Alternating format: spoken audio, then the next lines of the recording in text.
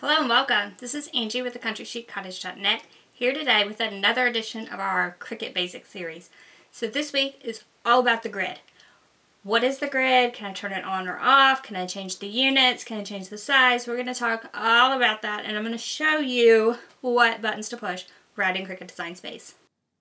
Alright, so we're in Cricut Design Space and we've started a new project. This area where you'll be working is your grid. Perhaps you want to turn it off change it, change the units. So as you can see, perhaps, right now mine is in inches. So we just click the hamburger menu in the upper left-hand corner, click Settings, and Settings open up for our grid. So you can actually choose Full Grid, which is what my default is right now. You can choose Partial Grid and get rid of some of the lines. So this would be a partial grid. You can also choose no grid. So this is if you prefer to work in Cricut Design Space with no grid at all. You can also choose your units here. So I have mine set to inches, but you can also choose centimeters.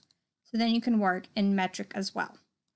So think about the settings that you would use most often, change those, and then it should remember it every time. If it does not, just be sure to click the hamburger menu and settings and click your grid size and units. So hopefully that helped. Sometimes the simplest things are the hardest. Like you just want to turn off the grid and you cannot find the right place to do that.